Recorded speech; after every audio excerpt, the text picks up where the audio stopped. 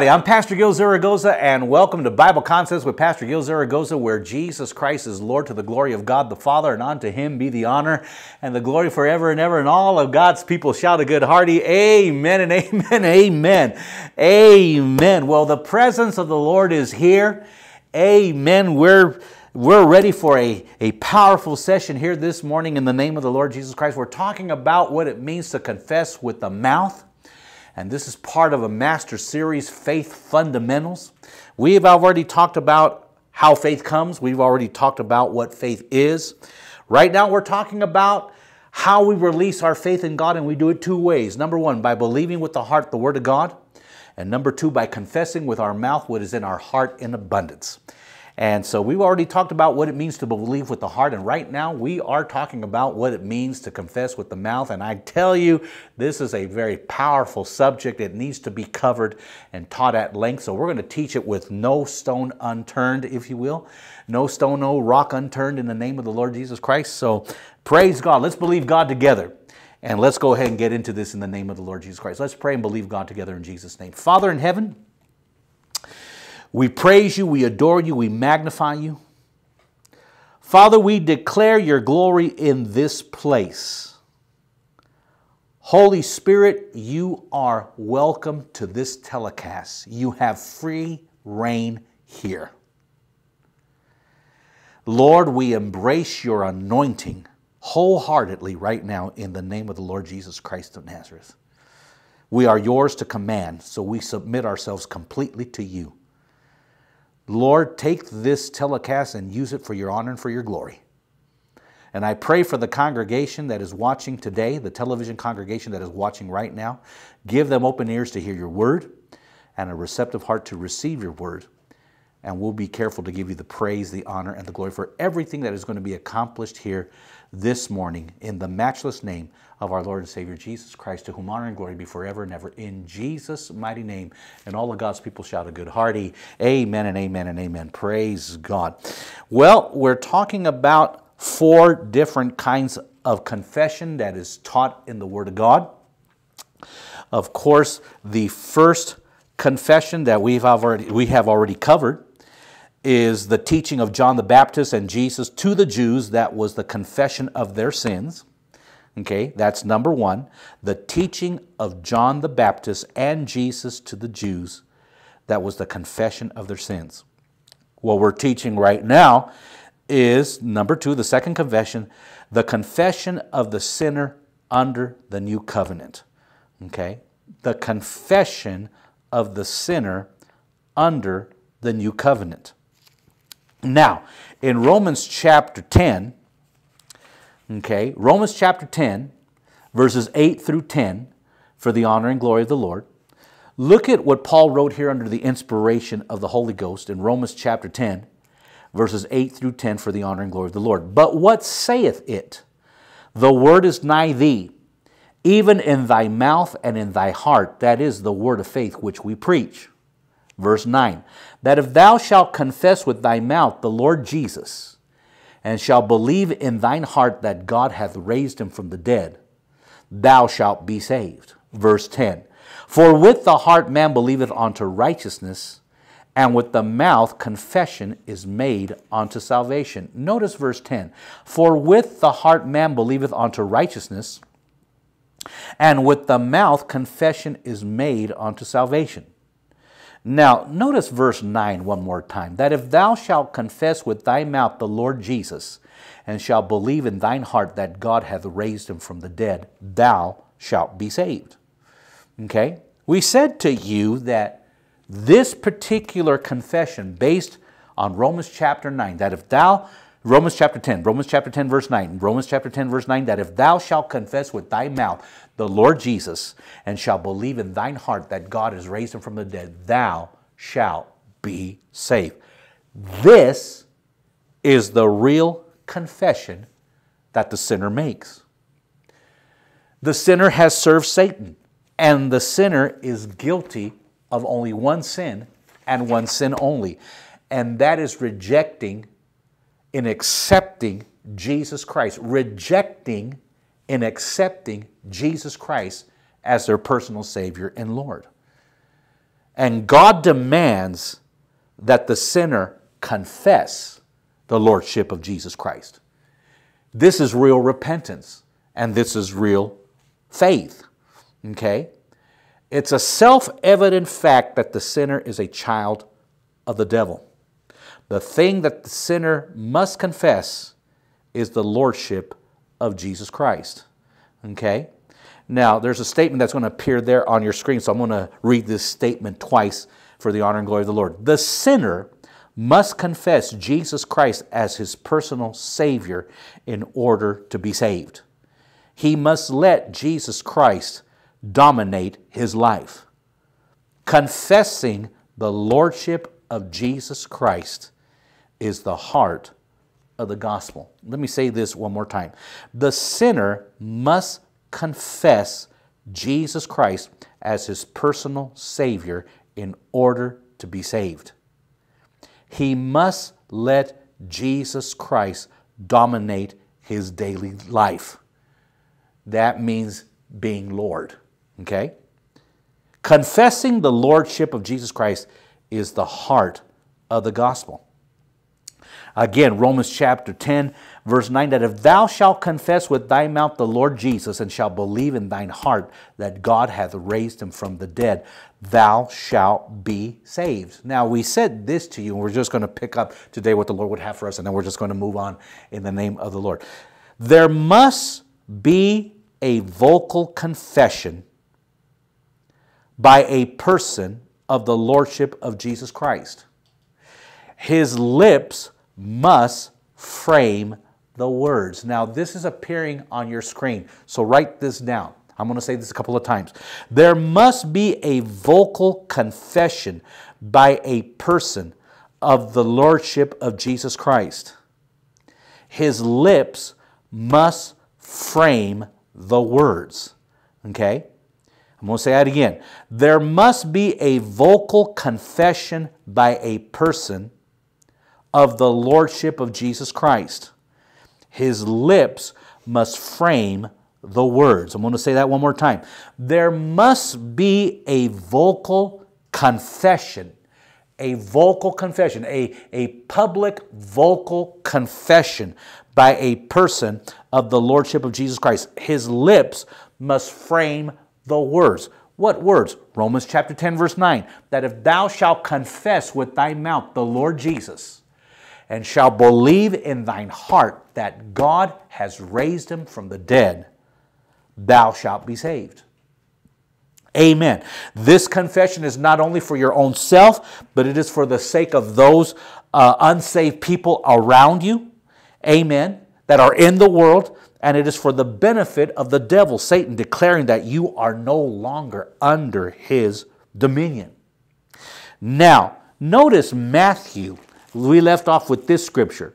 Matthew chapter 10. This is where we left off, so amen. Buckle your seatbelts. Let's go for a faith ride in Jesus' name. Amen. Praise God. Romans chapter 10, verses 32 and 33. Look at what Jesus, look at what he declared right here in this portion of scripture of Matthew chapter 10, verses 32 and 33. It reads as follows Look at what Jesus declared right here. Whosoever therefore shall confess me before men, him will I confess also before my Father which is in heaven. Look at verse 32. But whosoever shall deny me before men, him will I also deny before my Father which is in heaven. Wow, this is pretty powerful. Amen. There must be a public confession, a vocal proclamation concerning the Lordship of Jesus Christ. Amen the individual must frame the words. Again, Romans chapter 10, verse 9 that if thou shalt confess with thy mouth the Lord Jesus and shalt believe in thine heart that God has raised him from the dead, thou shalt be saved. Why, why does there need to be a public confession, Pastor Gil? Because Jesus himself said in Matthew chapter 10, verses 32 and 33 Whosoever therefore shall confess me before men, him will I confess also before my Father which is in heaven. But whosoever shall deny me before men, him will I also deny before my Father which is in heaven. Amen. Notice that in the new birth, in receiving eternal life, there must be a public confession. Now that's appearing there on your screen, so I'm going to say this a couple of times. Notice that in the new birth, in receiving eternal life, there must be a public confession. I'm going to say that again. Notice that in the new birth, in receiving eternal life, there must be a public confession. I'm going to say that one more time. Notice that in the new birth, in receiving eternal life, there must be a public confession. You see, public confession is literally, literally making a complete break with the world. It's a change of lordship. It defines our position in Christ Jesus. It's, it's literally making a complete break with the world. It is a change of lordship. It defines our position. Now, write this down. This is going to appear there on your screen. The confession of the lordship of Jesus Christ puts us immediately under Jesus' supervision, care, and protection. I'm going to say that again. The confession of the Lordship of Jesus Christ puts us immediately under Jesus' supervision, care, and protection. I'm going to say that again. The confession of the Lordship of Jesus Christ puts us immediately under Jesus' supervision, care, and protection. I'll say that one more time. The confession of the Lordship of Jesus Christ puts us immediately under Jesus' supervision, care, and protection. You see, Satan was once our Lord, but through confession, we changed lords. We have changed lords. When we receive Jesus Christ as our personal Savior and confess Jesus Christ as our personal Lord, Jesus Christ becomes our Lord. He becomes our head. He becomes our master. So it is imperative that we hold fast to the confession of the Lordship of Jesus Christ over our lives. It's, it's so imperative that we keep Romans chapter 10, verses 9 and 10 in the forefront of our meditation. That if thou shalt confess with thy mouth the Lord Jesus and shalt believe in thine heart that God has raised him from the dead, thou shalt be saved. Verse 10 For with the heart man believeth unto righteousness, and with the mouth confession is made unto salvation. Jesus said again in Matthew chapter 10, verse 32 and 33 Whosoever therefore shall confess me before men, him will I also confess before my Father which is in heaven. But whosoever shall deny me before men, him will I also deny before my Father which is in heaven. This is a very powerful principle. You confess Jesus Christ as your Savior and Lord before men, then Jesus Christ will confess you as his child before the Heavenly Father. But in this same breath, he said, Whosoever shall deny, okay, whosoever shall deny me before men, him will I also deny before my Father which is in heaven. Okay? Amen. This is why it's so imperative that you confess the Lordship of Jesus Christ before other people. You need to let them know I'm a Christian. Amen. You know, I, am going to be very. Um, let me just give you just a quick, quick testimony on this. You know, um, at work, I used to have a. I, I, I worked uh, bivocationally before being full time pastor. I, I, worked another job, a full 40 hour job, and um, you know, uh, I was an office manager at a company and of course, you know, um, you have sinners working, and and had this one individual come in and say, Hey, uh, Gil, uh, you know, I wasn't Pastor Gil. Of course, sinners don't call me Pastor Gil, they just call me by, by the first name, Gil. So he said, Hey, Gil, come on, let's go have, let's go have a beer. And I told him, No, I'm not going to have a beer with you. I do not desire to have beer with you. And he said, Why? I said, Because I'm a Christian. Jesus Christ is my Savior and Lord. I'm a Christian. And when you asked me that question, there was a compelling in my conscience not to participate with you because drinking beer doesn't glorify Jesus. I'm a Christian. Well, you want to know something? There was a power that came into that room, and that kind of opened the door uh, to kind of witness to him. Now, he rejected the gospel because he loved more the things of the world. But I do believe that that was a seed planted in his heart. You see, I confess Jesus before him. And because I confess Jesus before this particular sinner, Jesus Christ confessed me before my Heavenly Father. I am marked as a believer. Why? Because I fully believe in my heart the Lord Jesus and I proclaim with, I, I confess with my mouth the Lord Jesus, and I fully believe that God has raised him from the dead, and now he lives in me because I confess his lordship and the fact that he is my Savior into my personal life. Okay?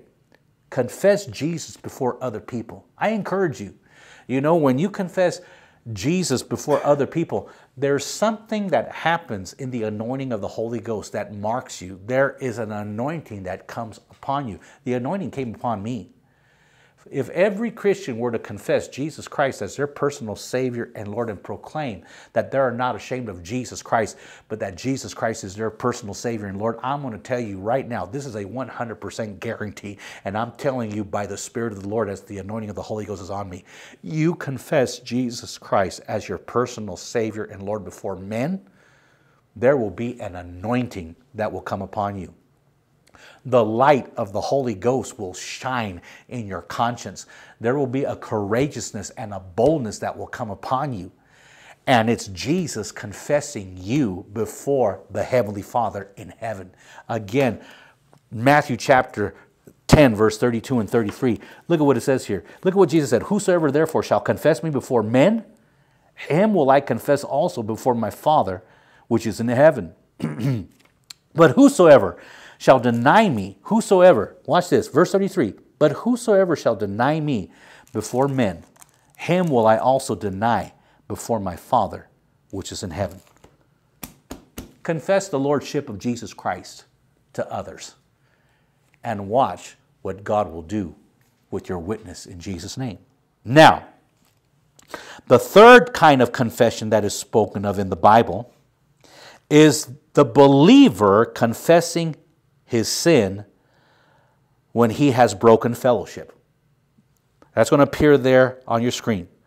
The third kind of confession is the believer confessing his sin when he has broken fellowship. I'm going to say that again. The third kind of confession is the believer confessing his sin when he has broken fellowship. I'm going to say that one more time. The third kind of confession is the believer confessing his sin when he has broken fellowship.